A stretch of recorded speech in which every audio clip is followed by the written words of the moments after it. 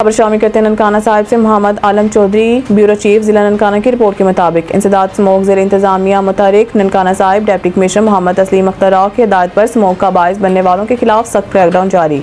Assistant director माहौलियात ने कार्रवाई करते हुए जिक्स टेक्नोलॉजी का इस्तेमाल न करने वाले भट्टे को गिरा दिया।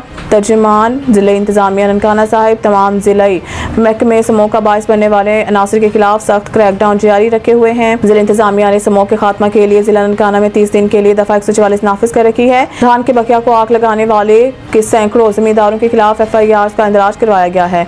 धुआँ छोड़ने और फिटनेस सर्टिफिकेट न रखने वाली पब्लिक ट्रांसपोर्ट को जब्त किया जा रहा है। डी सी ननकाना साहिब समूह का बायस बनने वाले नासिर को बीस लाख से जायद जुर्माने आयद किए जा चुके हैं।